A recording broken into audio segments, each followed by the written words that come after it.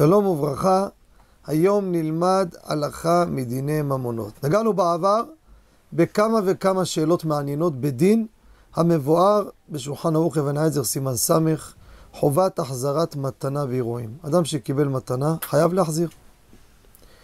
כל מיני שאלות מעניינות, ואני רוצה לנגוע שאלה שקשורה לקורונה.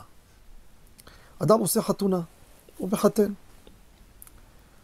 קורונה מגבלות, עושה אירוע 30, 50 איש, וכשהוא הלך לאירועים של 700, 800 איש, הוא נתן מתנה. האם חובה להחזיר לו או לא? אם הוא מזמין אדם לאירוע בתוך ה-30-50 איש, בוודאי שחייב האדם ליתן מתנה, גם אם הוא לא בא. הזמין אותך, תבוא תעזור, יש גם הוצאות של חתונה, הוצאות של ה... זה לא רק האולם, הוצאות של הרבה דברים. זה נקרא שושבינות. אבל אם לא הזמין אותך, תגיד, יש לי חוב פתוח? לעניות דעתי לא חייב להחזיר. אתה לארג', לך תעזור לו. זה משהו אחר. חובה לא חובה. שאל אותי מתי אני אחזיר? בעזרת השם. בקרוב תגיע הגאולה, יחזרו האירועים הגדולים.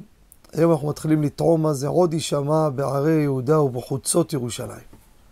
כל ששון וכל שמחה.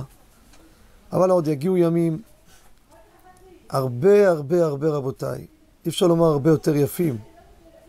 זה שחור לבן, זה לא יותר יפים, זה עולם אחר לגמרי הולך להיות. ואז בעזרת השם, שיהיו שמחות, אז תזכור שאתה צריך להחזיר למי שהביא לך. כרגע, אם לא הזמין, למה לא הזמין? כי הוא מוגבל, בסדר, לא הזמין, אני לא חייב לבוא, אני לא חייב להחזיר.